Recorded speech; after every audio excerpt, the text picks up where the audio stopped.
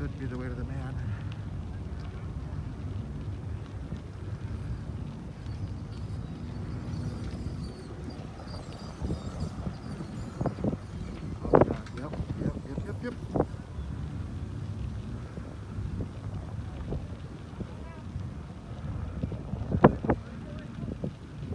being built, not open yet.